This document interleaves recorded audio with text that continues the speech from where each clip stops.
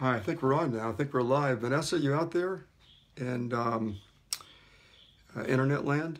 Just want to double check, make sure I'm on and everything's set. It's uh, maybe 30 seconds before three. I, I don't want to get moving yet until um, we feel like more people have been able to tune in. So uh, I'm assuming I'm up and going. I haven't heard anything to the contrary. Yeah, Laney's watching. Hi, Laney. How you doing? Hey, you're doing a good job of um, of reaching people also on Zoom and what have you. I think it's great. And uh, you know, you love the area's history, and I'm sure you're really putting out a lot of good stuff. Delighted to have you, really.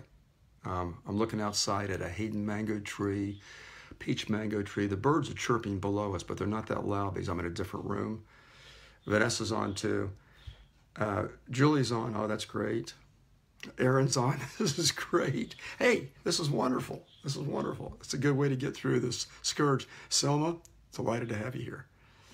This is great. So, our lesson today, uh, or our chat today, uh, deals with the communities in Northeast Miami Dade, uh, namely Bal Harbour, Bay Harbor, Indian Creek Village, Surfside, and if time permits, et cetera, et cetera, meaning just a maybe a, a touch on um, Allison Island and if time permits, La Gorce, and some of the other areas out there. But I, I wanted to discuss uh, just very briefly at the outset to give you an idea of the dimensions of the bay.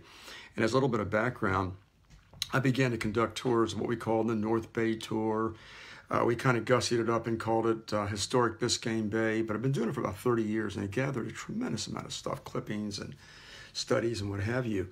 And um, that tour would begin at Bayside. We, we began with History Miami uh, probably about early 1990s and it would go all the way out uh, close to the Broad Causeway. Now, I've done another tour that on a smaller boat that would leave from uh, Pelican Harbor on the 79th Street JFK Causeway and head even farther north in the bay.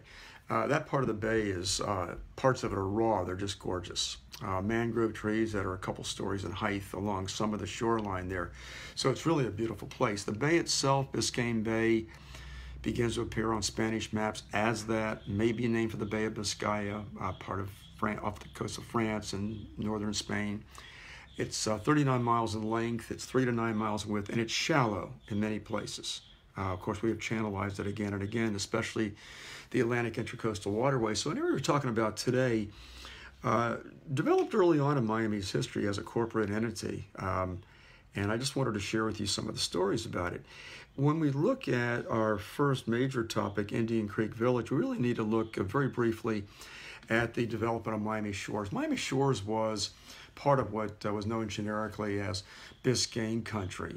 And uh, developers came along, the Shoreline Corporation came along in 1924, bought a large tract of land. The boom was really heating up, it reached its peak the next year, 1925 and they began to survey, plat, and sell lots in 1924, and it was just explosive, the sales. They sold out everything. Opened up a new section in 25, and they, it was oversubscribed by the tune of $12 million, meaning there was 12 million in excess of what was actually there to buy.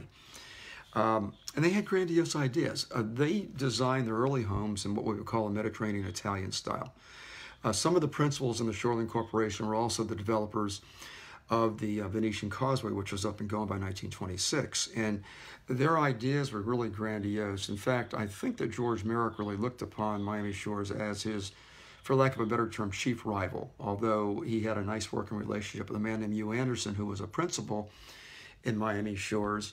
And in fact, they agreed that um, uh, Merrick would name a street uh, with the surname Anderson, Coral Gables, and Anderson would do the same thing with the street for George Merrick in Miami Shores. Merrick came through Anderson Avenue, uh, but the Shoreline Corporation wasn't able to. They went belly up by the late 20s and before uh, that street was ever named. So who knows, there might be a Merrick Way one of these days in Miami Shores just to make good on that promise of nearly 100 years ago. Um, so the Shoreline Corporation developed Miami Shores said, you know, it's not enough to develop the mainland, not enough to develop the Venetian Isles. What we want to do is we want to build four large rectangular islands that will extend north from the Venetian Isles all the way up to another island uh, across the Miami shores that you could access by what they call the Grand Concourse. And so uh, they designed uh, and they planned to develop um, with Italian names these four large rectangular islands connected by these large humpback bridges. And uh, the first was called Isola di Lolando. It never happened, but you've seen the stakes in Biscayne Bay as you're coming off the Julia or coming east on the Julia Tuttle Causeway. You can see on your right or south those stakes in the bay, and they're nicely rectangular because that was going to be Isola di Lolando. Never happened because the Shoreline Corporation was belly up before they could even do that.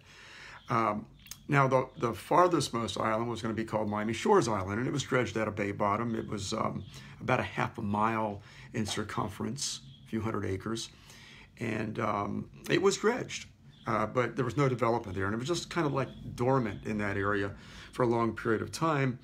Um, the idea was, had that come to fruition at the time that Miami Shores was being developed, that Grand Concourse would have connected it as a sort of a big causeway, ornate, from the Miami Shores mainland out to Indian Creek, today's Indian Creek Village. Didn't happen.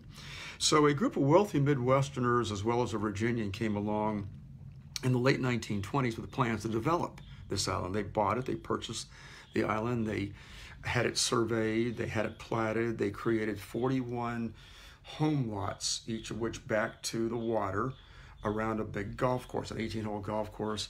And they did build um, a wonderful Mediterranean Italian style clubhouse for Indian Creek, the future Indian Creek Village. The clubhouse was designed by a man named Maurice Fatio, who was a Swiss born and educated architect. He had great success in Palm Beach during the boom, and he designed this beautiful, beautiful building. Uh, so the clubhouse was up and going by 1928 29. Um, but the, the area itself wasn't developed until sometime after that. And when development came, again, the homes would surround that, and it became, as you can imagine, a very exclusive community. It was incorporated as a village connected by a two lane bridge from Surfside, which was developed actually even later than that, but it was incorporated in 1939 when Surfside was already uh, a village, or, excuse me, already a town. Um, its estimated population remains very small as of, uh, as of 2018 uh, the estimated population was just 91, but some of the residents, uh, both in 2018 and in earlier times, included a lot of heavyweights. Norman and Norma Braman of Braman Motors. He once owned the Philadelphia Eagles football team.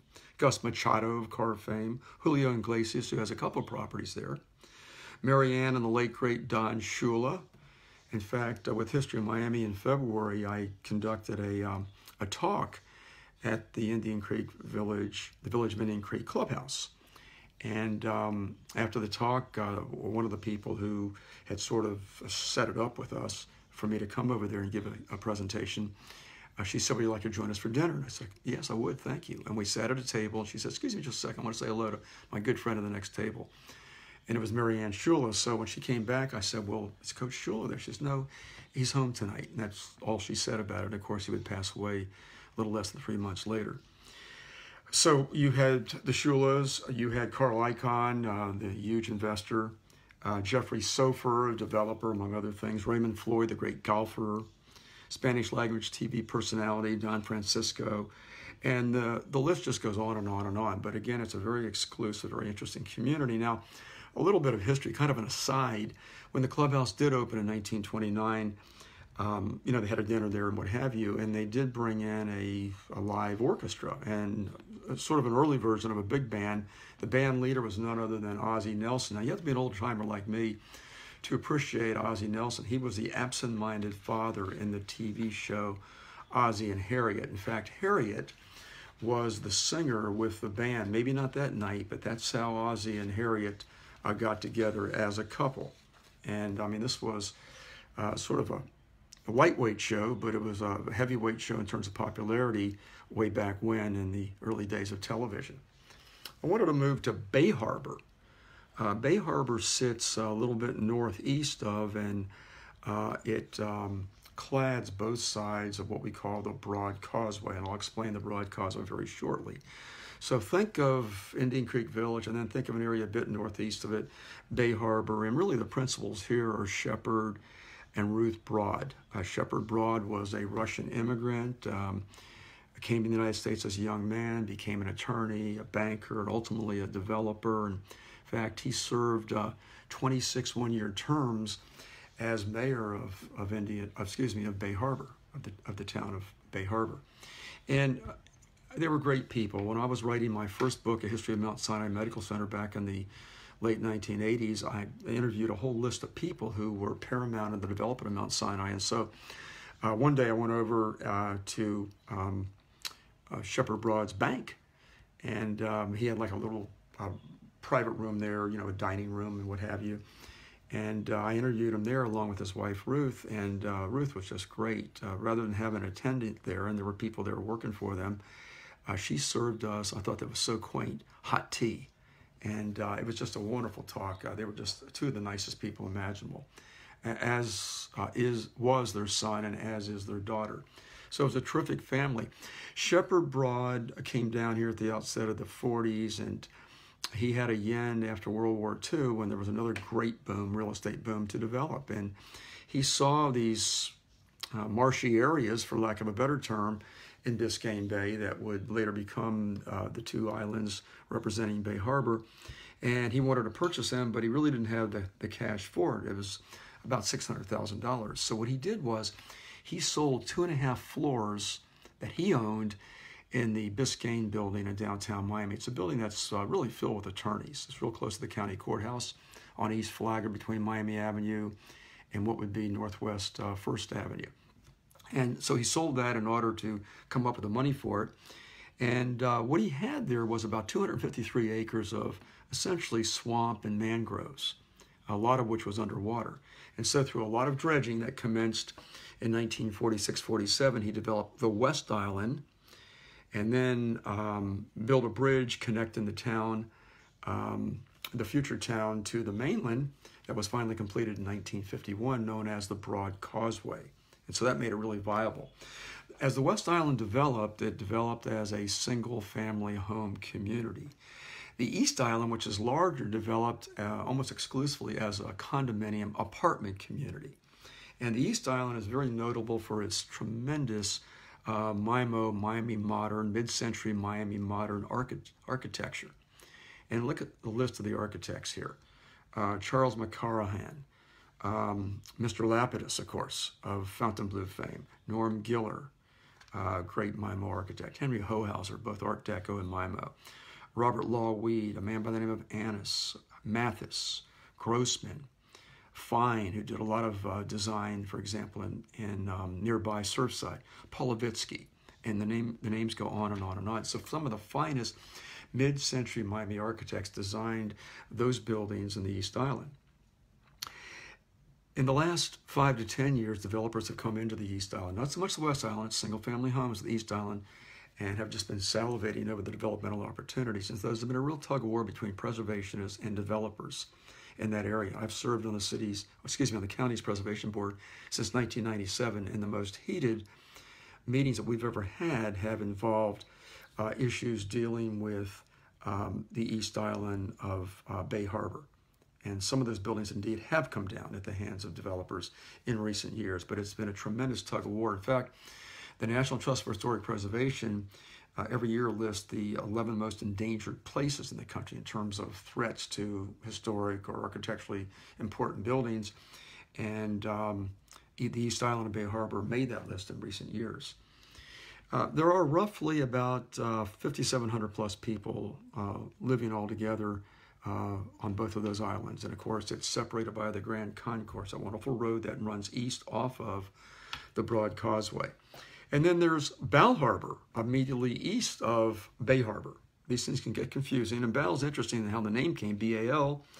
It's actually a, uh, a, coming together, a conflation, if you will, of uh, B-A from Bal and um, uh, A-L, excuse me, B from Bal and A-L from Atlantic. Uh, thus it's Bal Harbour, and harbor spelled H-A-R-B-O-U-R. So it's pretty fancy with some French overtones to it.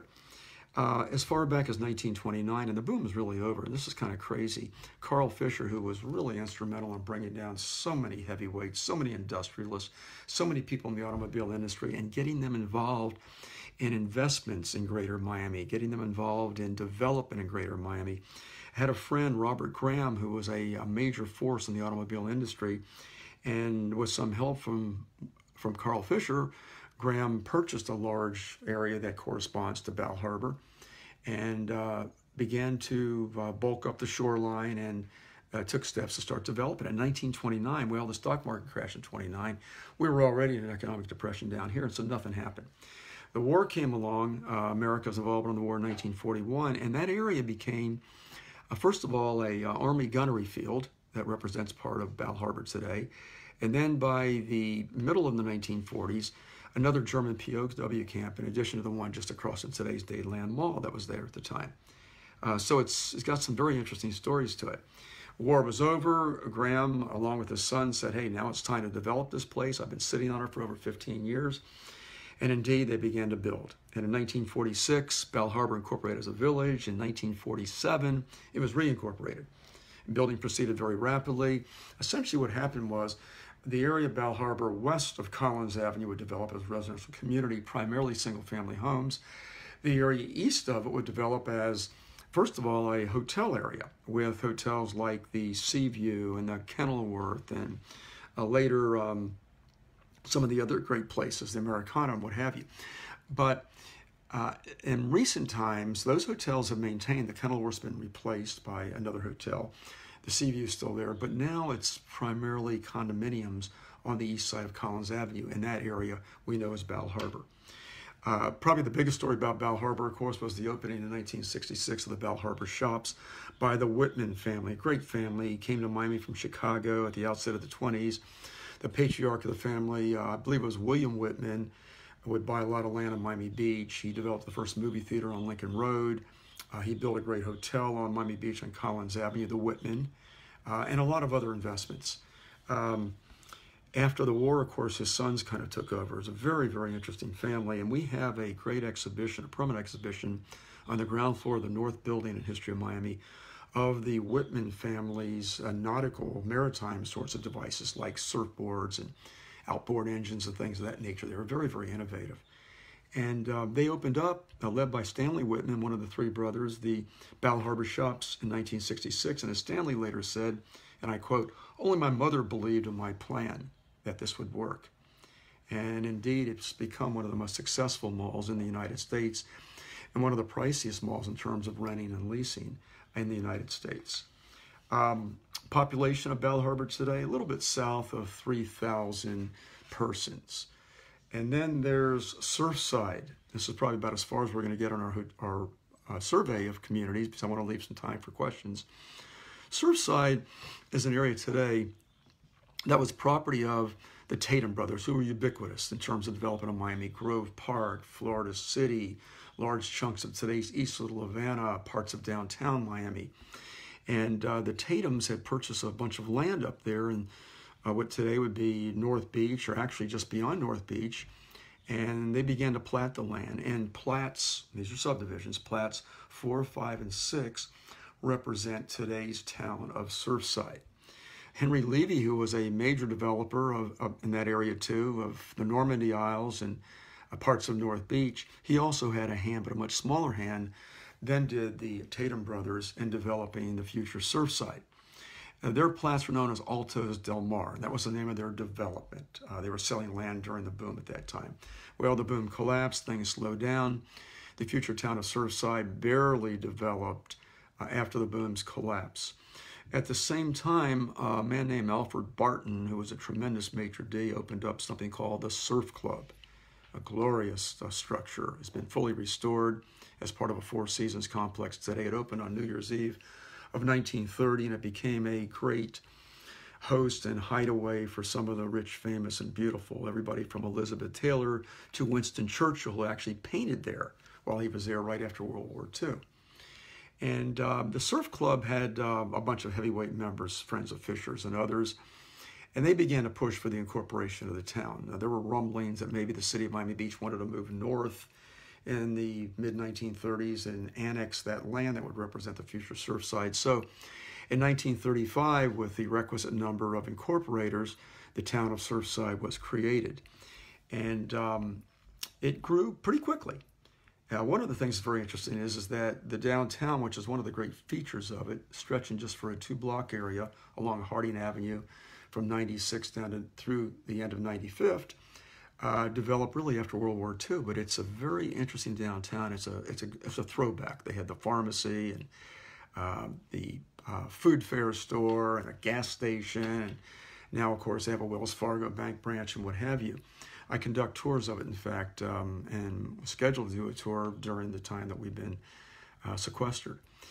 So uh, downtown developed nicely, but what's happened in recent years is, is the area along Collins Avenue has been redeveloped in a large way. You've got a Fendi condominium complex there. You've got the Grand Hotel there. We've mentioned the Four Seasons already.